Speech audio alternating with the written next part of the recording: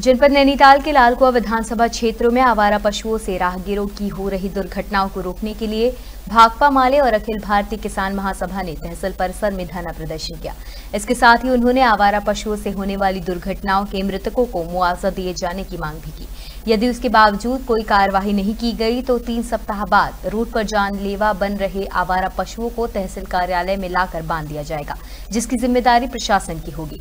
इस दौरान अखिल भारतीय किसान महासभा के प्रदेश अध्यक्ष आनंद सिंह नेगी ने कहा कि गोरक्षा कानून बनने के बाद पशुपालकों के बछिया, बछड़ा, बैल, गाय की बिक्री नहीं होने से पशुधन को आवारा छोड़ना पड़ रहा है, जिससे दुर्घटनाएँ बढ़ती जा रही हैं। लालकुआ से मुन्ना अंसारी की रिपोर्ट।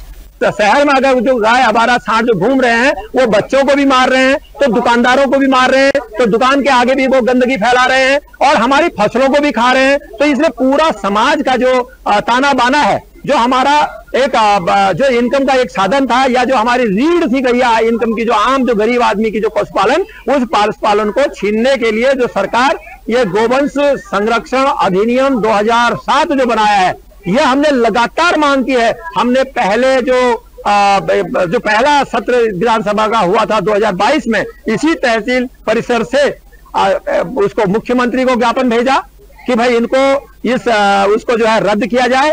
यदि आप इसको रद्द नहीं करते हैं तो सरकार इसको खरीदे। तो गाय का एक निश्चित मूल्य रख ले। लगातार हम देख रहे हैं कि खेती किसानी चौपट है। लगातार घटनाएँ हो रही हैं। और इसको लेकर के लोग लगातार उठा भी रहे हैं। हम लोगों ने ही पहले भी, मुख्यमंत्री जी को भी, तमाम लोगों को ज्ञापन दिया।